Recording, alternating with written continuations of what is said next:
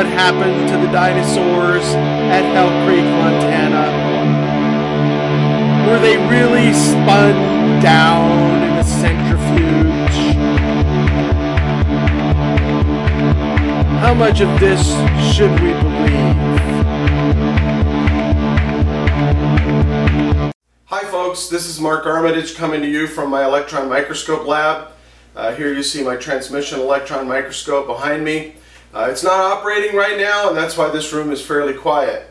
Uh, but as you know I discovered uh, soft stretchy fiber or bone tissues in a Triceratops horn from uh, Hell Creek Formation, the same dig that many of the famous paleontologists have dug at. In fact, uh, Mary Schweitzer is one. That's where she found her T-Rex femur, which we're going to talk about. And uh, a couple of things before we get started. Uh, there are no comments uh, on this video. I think the uh, evolutionists and the long earth agers have done enough commenting on some of my other videos. And so uh, this is going to be uh, short and sweet. Uh, it's going to be a series of three videos that are going to discuss the supposed iron preservation of tissues from the Hell Creek Formation and possibly from other formations all around the world. There are two important papers that we will refer to in this video. The first, 2005, uh, Schweitzer et al. paper in Science discusses the discovery of the Tyrannosaurus rex femur and the soft tissues within. The second one is the paper by Schweitzer et al. from 2013, which discusses a possible role for iron and oxygen in preserving the soft tissues. Uh, people have been asking me for months uh, to answer the, uh, the supposed solution to uh, long-term preservation of dinosaur tissues. Uh, most, uh, most namely the uh, Dr. Mary Schweitzer et al. paper uh, from 2013 which supposedly provides this answer, this solution to why these tissues have persisted for 68, 70 million years. And so, um, so here we go. Uh, we're gonna we're gonna do this in three or four parts, and uh, we're gonna break down her paper. We're gonna break down uh, a lot of information about blood behavior, about iron behavior, and so hopefully this will give you a response that you can use uh, when you're discussing soft tissues and dinosaur remains uh, with your friends. Uh, let me say at the start here that the level of viciousness, name calling, and uh, otherwise uh, vitriolic comments that have been leveled at me uh, uh, because of the videos that I've put on this YouTube channel are, in my opinion, unprecedented. Uh, I think that people are really irate, really upset with me personally. They try to demonize me, call me names, uh, call me, you know, uh, an arrogant idiot, all, all, kinds of things. And so I think it's unprecedented, and I, I believe we've hit a nerve folks. I believe with the soft tissue and dinosaur bones, we have hit a nerve, uh, particularly with the old earth, uh, long age, uh, people committed to millions and millions of years, uh, because the average person on the street reacts viscerally to this. People get it. When you tell people there's soft tissue and dinosaur bones, soft, stretchy, fibrous tissues, and some of the beautiful soft cells that I've shown many, many pictures of, uh, people react instantly to that and they, they get it. They realize that's got to be young. I mean, there's virtually no explanation necessary. And so by soft fibrillar stretchy tissues, I mean these tissues that came out of the very center of the horn bone. Look at how this is like a piece of taffy. I can stretch it in both axes and it's so resilient it just bounces back to its original conformation. So how can this be 68, 70 plus million years and still retain this kind of elasticity? Number one. Number two, I thin section these things and they're chock full of osteocytes, the little cells that populate bone. And so how can these have these kind of structures in them and be that old? And so here are some of these osteocytes. You can see they're beautiful cells and they have these little thread feet that come off, these little filopodia that are still completely intact and they're nanometers in size. So how can this kind of preservation be there on cells that are 65, 68, 70 million years old? It's impossible. Dr. Schweitzer et al., uh, in her series of papers on soft tissues and dinosaur bone, uh, uh, nailed the identification of these tissues. She killed it uh, because she showed uh, without any doubt that these are original proteins, original tissues that go back to the original dinosaur. And so, uh, so that, that settled it. That settled the fact that these are original tissues in these dinosaur remains. And, uh, and so that left the evolutionists scrambling uh, for a, a, uh, a, you know, an answer uh, for how, how these are here. What, what is a credible answer that they can offer uh, for the preservation of these tissues? Because we know these tissues don't last a long time. Uh, and so they're looking for a materialistic explanation. That means an explanation that, that's rooted in science, observable scientific fact, because they are completely committed to millions of years. They will never let go of millions of years. And of course, without millions of years, you can't evolve anything. And so uh, I believe that that's why soft tissue is such a lightning rod because it just erases millions of years. I mean, it just erases it off the whiteboard. And so they're committed to that and, and they're committed to finding a materialistic explanation. Now let me say at the outset here, I'm not committed to 6,000 years. And that may, may sound strange coming from a young earth creationist, but I'm not committed to 6,000 years. And here's why. Uh, Schweitzer et al. Uh, have found original proteins, as I mentioned, that go back to the, the original dinosaur. And they've, they've emphasized that these proteins have an outside uh, age of 1 million years. So they've, they've, in their writings, they've acknowledged that these proteins, such as collagen, actin, tubulin, histones, I mean, we know they're there. Uh, their work has been fabulous. It's been sound, good scientific work that shows that these proteins are there. And they themselves admit that they have an outside age of a million years. And so, uh, as a young earth creationist, I would not even have a problem accepting a million years for, uh, for the beginning of creation because you still can't evolve these organisms in a million years. You need millions and millions of years to evolve these organisms. And so, so even if we go out a million years, we're still okay. Uh, I don't need an explanation. They need an explanation for how these proteins have survived more than a million years. I don't need an explanation because I know uh, based on all the other evidence that supports the young earth that the creator is real, that he made these things, and that Genesis is believable. So, so they found these proteins, and, uh, and now they're trying to explain their preservation, fabulous preservation, based on this iron preservation uh, uh hypothesis that they made. And, and, it's a little embarrassing. I consider this experiment uh, that was done uh, with the blood, soaking tissues in blood, really a 10th grade science experiment. I mean, they used chicken blood, they used ostrich blood to prove uh, that, that these soft tissues in dinosaur bone have been preserved. That's what everybody's saying. Everybody's saying they proved it with the iron uh, hypothesis. Now, now we're going to discuss what the paper really says. The paper doesn't claim to prove anything. The paper claims that there is a role for iron and oxygen in the preservation of tissues, not that they themselves have preserved the tissues. And we're gonna we're gonna drill down into this. We've struck a nerve. We're gonna drill down. We're gonna do a root canal uh, on this nerve that we've touched, and see if we can help these evolutionists out with the truth about what has really been found. Now, another important thing that you need to know is that these dinosaur remains, these bones, are not fossils. Okay, they're not fossils, they are bones. They're still bones. And how do I know that? Because they react to conventional bone processing. They react to the same uh, uh, dissolution of bone mineral uh, that, that hospital laboratories perform all over the country today using EDTA to dissolve bone mineral to have access to the soft tissues that are in those bones, that's used every day all around the planet. And so these dinosaur remains are responding to that, which means they're still bones. They have not been fossilized, which is astounding because because the bone mineral has been sitting there in the dirt, in the water, in in in all uh, the, the things that are found in the environment, and yet they were never replaced. Their bone minerals were never replaced with the hard stone minerals that we've been told are uh, actually what fossils are made of. So these are not fossils, folks. They're real bones. They're they're they're tissues just like your bones are. If they were old, if they were 65 million years old, they'd be hard rock.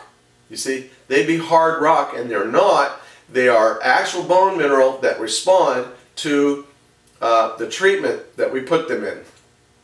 Now, next, I, I want to reiterate that Dr. Schweitzer et al., their paper, 2013 paper, uh, is titled A Role for Iron and Oxygen in Tissue Preservation. Not here, folks, we have now found the smoking gun, the evidence that proves that these tissues uh, are here because of iron and oxygen. No, they're simply saying there's a role for these things in iron preservation. And they might, there might be. There might be a role for rust, which is what iron and oxygen is. Fe2O3 is rust. And there might be a role, but I don't think I don't think it's a, as significant a role as they've made out in the paper, and we'll talk about that. Fe2O3, we'll talk about the chemistry of that, uh, how these iron particles behave, and, and excuse me, and so we will go into all this in detail as we proceed. Let's continue with our discussion here and let's talk about blood behavior. Uh, because forensic pathologists have uh, had a lot of years to study the behavior of blood uh, in a dead body or in a limb, a severed limb. Bill Bass and others have spent close to 50 years uh, studying the decomposition of bodies in the body farm and in Death's Acre. So this information is well established and well known among scientists. There is an established science here in forensics uh, that can predictably say what the blood, how the blood is going to behave in a dead body or a severed limb. This is predictable. Now, blood clots readily uh, upon contact with ripped or torn uh, skin, ripped veins, ripped arteries, ripped skin. That releases proteins that tells the blood, hey, I've got an opening here and you need to stop it. And so this, this elegant blood clotting cascade begins immediately upon blood touching ripped or severed skin. Uh, so we know that blood will clot readily and, and more importantly, uh, if there's a dead body and there is an opening where, where the blood is, is, is leaking out, where the body is bleeding out, a lot of that blood will clot. Some of it will pool and decompose, but a lot of it will clot. So clotting is very important. There are a lot of clotting factors in blood. There are a lot of clotting proteins in the serum of blood. And there are also uh, cells, there are platelets in the blood that uh, per, uh, perform an important function during clotting. And there are also tissue factors in torn tissue that tell the blood, okay, it's time to clot. So clotting is the first hurdle that has to be overcome here. Now, now when you consider uh, a severed limb uh, or even a, even a deep gash into a large uh, artery in the body, the, the, the heart will keep pumping. And so the heart alone can bleed out a body in a matter of minutes, uh, maybe even half an hour. Uh, a, a body can be bled out completely if there's a big enough gash because the pumping action of the heart uh, continues for a while, but then eventually it stops. And uh, once the heart action stops, or let's say in the case of a liver, severed limb, there's no heart action because the limb has been severed from the body. And so the limb is bleeding out, and so the blood uh, will drain. It will drain from the arteries into the veins. And this is, this is an established science. Forensics has established this. And so the blood will drain uh, first it'll bleed out, then it'll whatever's left will drain into the arteries. Uh, drain, I'm sorry, drain from the arteries into the veins, and and then it begins to pool. It pools in the veins, and and we also know conclusively that blood will pool at the lowest part of the limb or the body. because of gravity. It'll pool into that lowest part of the body and then it will proceed to decompose from there. Now Dr. Schweitzer and her team described the T-Rex femur that they found as a disarticulated element. Now a lot of people don't know what that means, a disarticulated element. That means it was completely separated uh, from the joint uh, and possibly from the body. So here we now have a T-Rex limb that was maybe ripped away from the body probably by the action of the floodwaters on it. And so it's a disarticulated limb, uh, and this is in the 2005 paper, and we'll show you a picture of that. Therefore, as a disarticulated element, this T-Rex limb bone may have been completely ripped away from the body. It's hard to tell. And so, so this limb uh, has been severed. Uh, she also described it as crushed and deformed. She says some of the bones that she discovered there were crushed and deformed. We'll show you a picture of that. This is from the 2005 paper. You can see it says deformed or crushed. And so, so she's describing the conditions of how this T-Rex femur came to be in the Hell Creek Formation. Probably ripped away from the body, disarticulated element, laying separate uh, in the sand or in the dirt, probably bled out completely, uh, or whatever was left in there probably pooled. It went from the arteries to the veins, went to the bottom part of the limb, and pooled. And that's where it, it decomposed and released probably these iron filaments that she talks about having preserved the tissues. Now, one thing that's very important to understand with regard to the 2005 paper by Dr. Schweitzer and her team and the 2013 paper by Dr. Schweitzer and her team is that the materials and methods section is not a part of the paper. At the beginning and at the end of her list of references, you can see that the materials and methods section, which was not a part of the paper, is available elsewhere if you have the ability to log on through Science and get the paper for free or if you pay for it. Now this is unusual. Uh, most papers include a materials and methods section to show you how the experiment was actually performed, what was done, what, uh, what reagents were used, what chemicals were used, uh, what equipment was used in the study of whatever it was the paper was about. And so the materials and methods section is completely missing. It is available. You can go to Science Online and we'll show you a reference that shows this in the paper. Again, here's the website that you can log on to to get this information. And so there's the reference. It tells you you have to go online and, uh, and purchase it or download it if you're already a member of Science or whatever the journal is. And you can download it. And so it's not available to the wide public. It's, it's only available to those who have the capability to go online and download it. Same thing with the 2013 paper. The materials and methods section was completely absent from the paper. And that's important because uh, that's where we're going to look at. Now, I've, I've gotten a lot of responses, a lot of comments from evolutionists who basically copy and paste portions of these papers into their response to me. You know, that's not doing your homework, folks. Copying and pasting parts from scientific papers as your response to what I'm saying, what I'm saying specifically and scientifically about these things is no response at all. So, so avoid the, uh, the embarrassment that you're going to face if you continue to do that. Now, if you want to add constructively to the scientific conversation and you want to analyze what's in the materials and methods, what's in the paper, and discuss those things, we can have a discussion. But if all you're going to do is copy and paste out of a paper and give and present that to me as your qualified response to what I'm saying, you know, bye-bye. We're done. And, uh, and so if you want to be part of the discussion, uh, do your homework and be part of the discussion.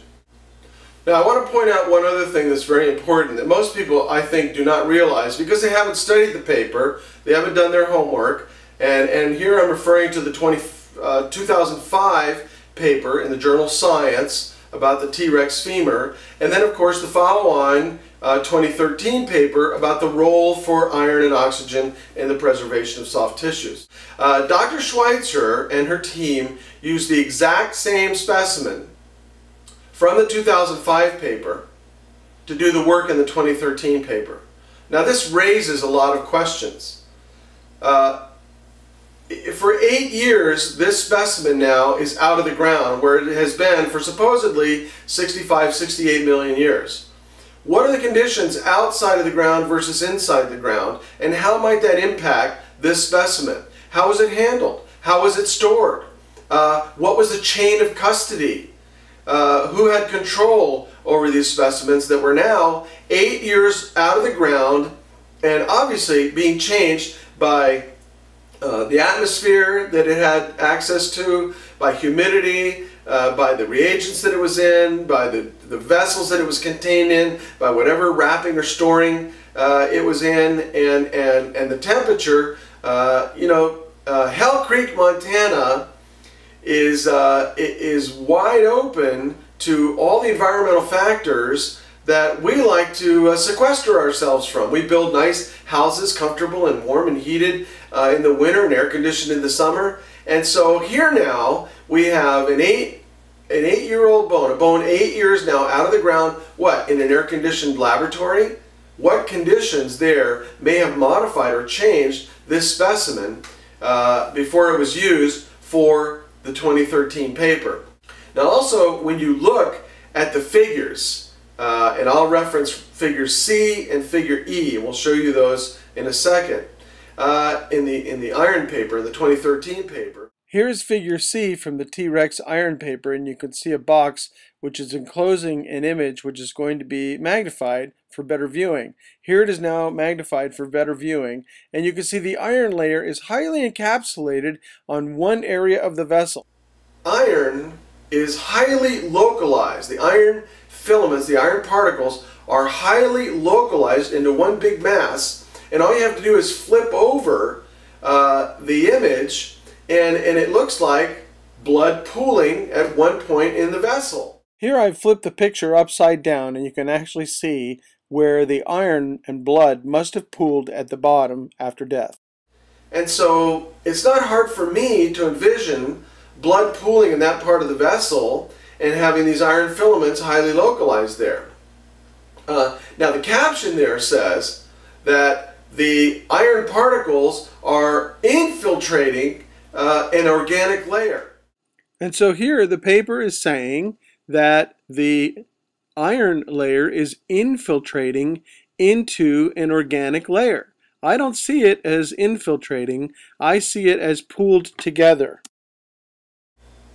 Now, if those iron particles were infiltrating the organic layer, why are they not, why are they so compacted and highly localized? Why aren't they moving out, you know, in different directions? They would all not move at the same speed because they'd be going through different membranes uh, and different resistances. So why are they all encapsulated like they would be if the blood pooled at the bottom of the vessel, like forensic science has taught us. And if they are infiltrating, as Dr. Schweitzer and others say, why, why are they all encapsulated? Why are they not moving uh, in, in different sections, different rates, so we'd see some iron filaments in different places? No, we see them all encapsulated. So um, I don't understand how that mass of iron filaments demonstrates infiltration.